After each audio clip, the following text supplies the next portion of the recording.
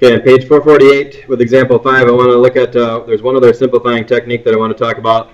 We did this with the opener where we were going to put fractions together. That's a general strategy we want to try to use when we're simplifying. And in this case, if I look at the denominators here, I have 1 minus sine x and I have cosine x. So therefore, the common denominator is going to be 1 minus sine x times cosine x. So those two together will be the common denominator. So just to illustrate the process here, we want to put those two fractions together. We're going to get a common denominator. Okay, this one got multiplied by cosine, so I'd have cosine squared on top. Okay, and then on the bottom, this one got multiplied by 1 minus sine. So on the top, I'd have sine x times 1 minus sine x. And that part would be getting the common denominator and then adjusting the numerators. All right, and then from there,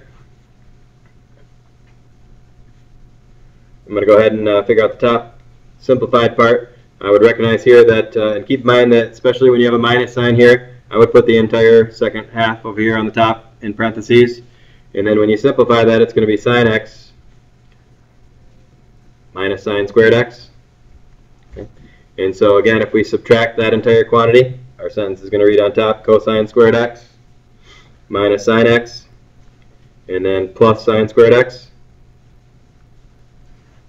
Would be the top of the equation. And hopefully we notice uh, something here.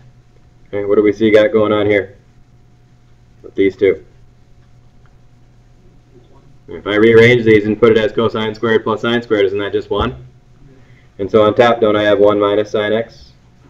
And on the bottom, I have 1 minus sine x cosine x.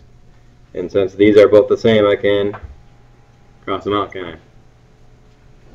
And with that said, I'd have 1 over cosine x. And finally, I change that to secant.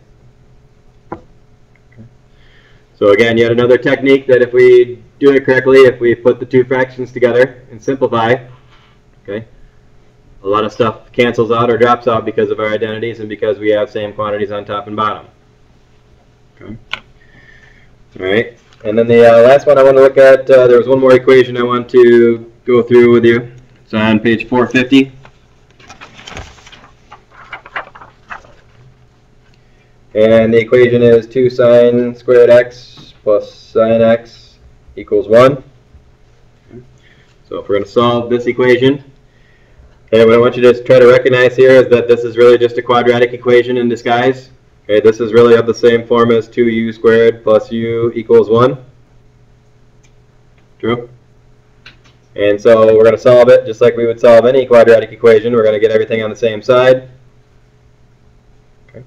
And we're going to factor. Okay, hopefully it factors. And this one, if we do 2 sine x and sine x, 1 and 1 is our only choice there. And hopefully that builds the middle term. We got a sine x in the middle. If we did 2 sine x positive and a negative sine x, those two together added would give us 1 sine x. So they would factor. And then from there, we'll use our zero product property to find our solutions. So in this case, I'd wind up with sine x equals 1 half. In this case, I'd wind up with sine x equals negative 1. Alright, so from there, we would solve those equations by using inverses or by using the unit circle. These happen to be nice values from the unit circle. So sine x is equal to 1 half at pi over 6. Okay. Keep in mind they told us to uh, find all the solutions. Right? So where else would sine x equal 1 half?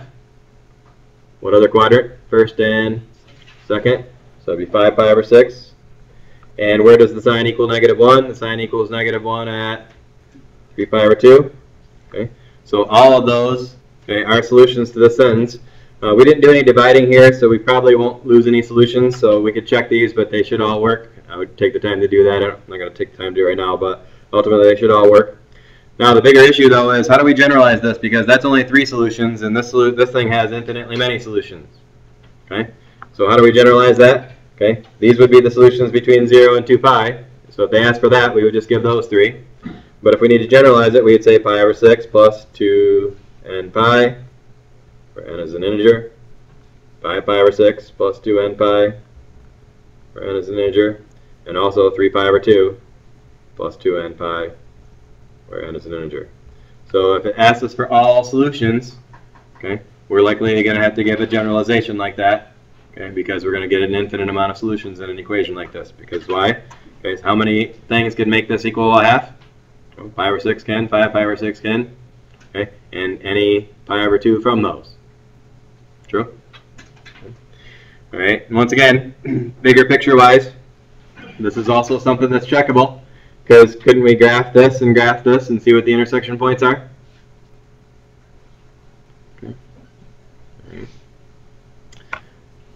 Okay, so for uh, tomorrow,